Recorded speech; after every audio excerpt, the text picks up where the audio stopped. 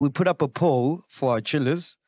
Uh, we got about 15,000 votes, and we asked should we keep the date of the 15th of April or should we postpone? 80% of the chillers said we should postpone. Sanity prevails. Sanity prevails, bro. Oh. Let them be sense of his force, bro. Fucking hell. Now we want to be all embarrassed and it's like echo. Linda, Linda, Linda, Linda. Are you there? there, there, there? Hey, hey, hey. Hi, which one? Ha. So to, even on our way back, they'll be echoing our voices at Sunbet Arena. No ways, though. We can't embarrass ourselves. We need to give ourselves time, man. I think 8,000 people, it's not like a branch.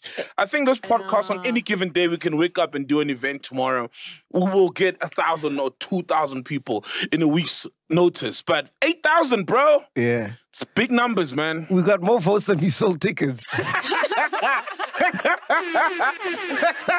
I'll vote you for entrance. I'll vote you. Vote down. Let's run a poll. Oh, vote down again.